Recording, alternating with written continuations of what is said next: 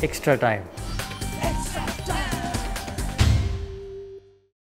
To my fellow countrymen, to the citizens around the world, these are, very testing times in our lives, but we will fight it. Listen to what every state government says, listen to what every health department says, listen to the directives of the central government. As they say, it's important to stay at home. Isolation is very, very important. Be safe and be healthy, and most importantly, be sensible. Don't try out things, don't feel that nothing's going to happen to you because when it comes, you will have nowhere to go. So, as they say, isolation is very important.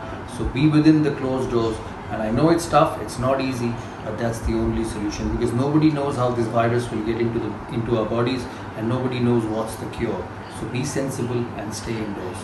Good will happen, we will fight this and we will get over this.